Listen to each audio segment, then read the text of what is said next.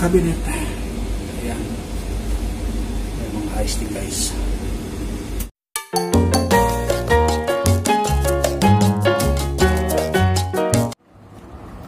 Welcome muli sa aking channel. Ngayong araw, tuturuan ko kayo kung paano mag-repair na walang papalitan na parts guys. Ito techniques naming mga nag-aaral ng electronics. Ibabahagi ko sa inyo po ng libre. May mga parts po guys na kailangan po natin initin muli. Dahil ang tawag namin doon is cold solder. Ito guys yung uh, karil nga pala ito guys ito yung ayaw mamatay. Yung compressor niya is naka-engage although naka-off na rito. So uh, ayusin natin siya. Okay guys. Itong relay na to is nag-malfunction. Kaya hindi siya bumitaw. Naka-engage ang ating compressor although naka-off ang ating digital control. Ngayon, ito guys is 12 volt DC. So, mapapansin nyo guys, ito ito, 8 pin siya. Okay? Ito, supply. Itong supply na to is galing sa IC. Okay? Itong part na to is i-resolder natin sa amin kasi sa electronics before kami magpalit ng mga parts is kukunin lang natin sa sa resolder ito ang aming secret. Hindi namin kailangan magpalit ng parts. Kung ang nakita namin issue is nagmamalfunction lang. So may time na okay may time na hindi okay. Take note guys. Pag totally hindi na siya okay we will going to replace this. Okay? Ang nangyari pala rito hindi siya bumitaw. Ito si neutral terminal number 2 at si line terminal number 3 so itrace natin guys. Terminal number 2 neutral na nakakabit sa compressor natin. At terminal number 3 na line. Okay So, itong part na to is line. Okay? Kasama dito yung isang 12 volts din na relay. So, ito yung common niya. Ito yung normally close, normally open supply ng isang relay. So, ito namang isang relay na to na dual pull, dual throw supply niya na 12 volts nagaling dito sa parts na to. At ito naman yung kanyang command. Ibabato niya yung signal. Ibabato niya yung signal. Okay? So tignan natin saan dito yung normally close. Ito may reading siya. So itong part na to ito at saka ito normally close. So ito normally open. Okay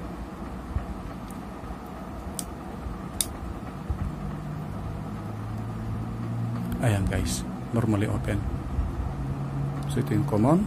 Ito yung normally close. At dito naman normally open. Ito yung supply nya tingnan natin guys kung buo pa yung coil. Ito ang coil nya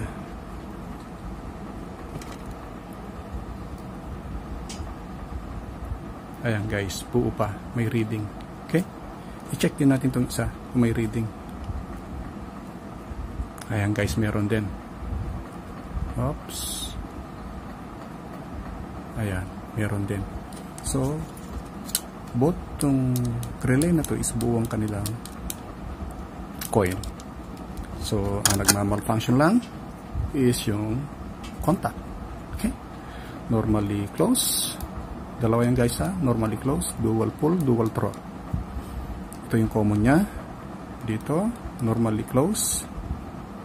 Dito, normally open. So, pag on ng unit natin, mag-engage, i-contact nyo itong terminal number 5 which is ang ating fan motor. Terminal 5, ko-contact niya pag i-contact niya, mag-on ang ating fan motor. Ito naman, tingnan nyo guys, series siya. So, common siya. Yung 3, di ba? Ang 3 natin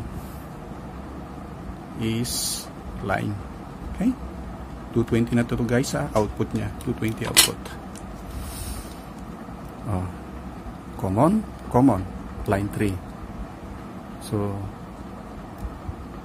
itong ito relay ng ating fan motor ito naman relay ng ating compressor so tingnan mo guys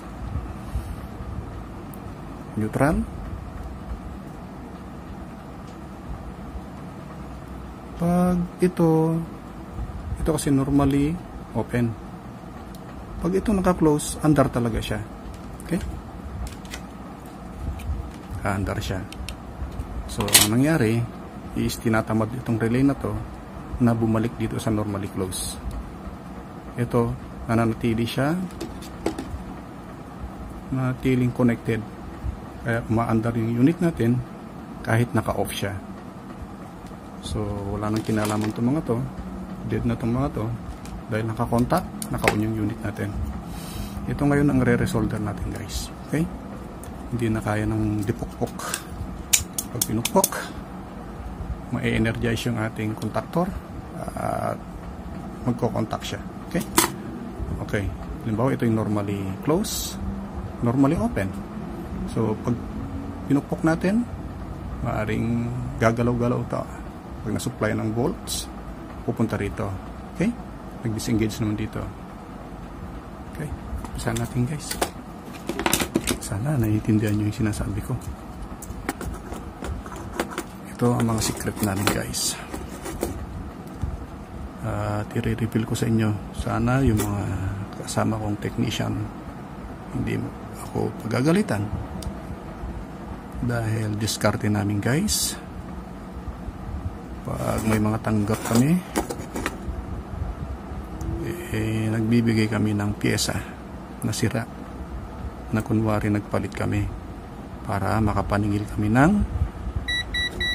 na ayon sa amin. Ngayon guys, itong ginagawa ko is resolder.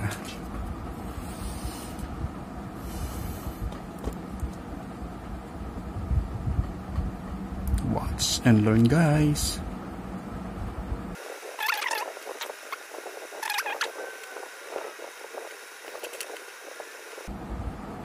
mas mainam din guys kung meron kayong hot air. Ang hot air gamit ng mga nagse-cellphone with air. Ang ginanda naman nun is iaafa nyo ang mga IC na ito. Okay? Lalagyan nyo ng flux and then iinitan nyo ng hot air since ang mga gamit ko is nasa Pilipinas So, hindi ko may demo sa inyo guys kung paano siya ginagawa. Dahil nasa iba yung dagat tayo.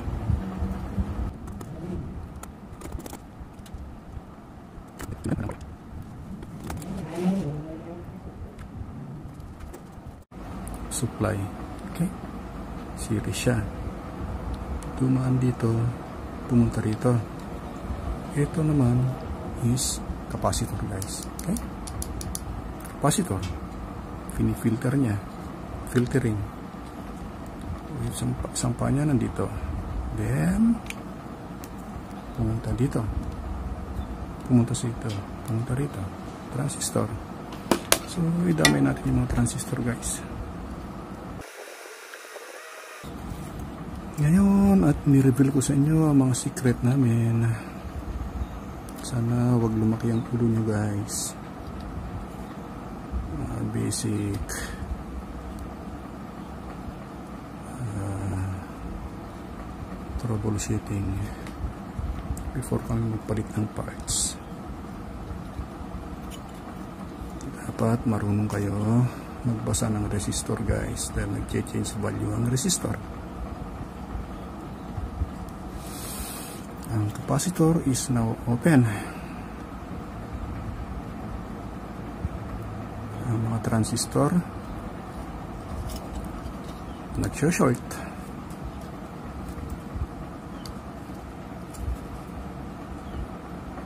kung alam niyo mga function niya napakadali para sa atin na mag-repair.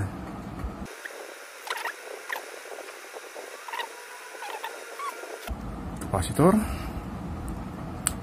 diode guys rectifier nya okay. Rectifier. Capacitor. Capacitor. At buzzer pag may alarm tutunog siya. Ayan kung may mga nagdikit. Okay?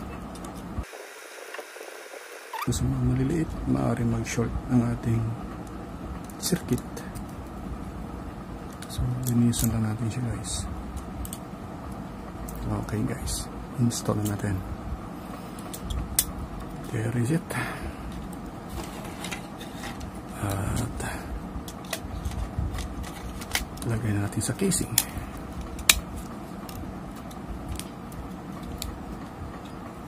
at lagyan natin ang kanyang front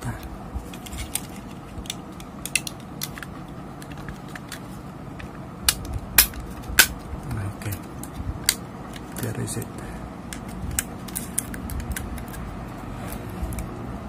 So ready for testing na to sa unit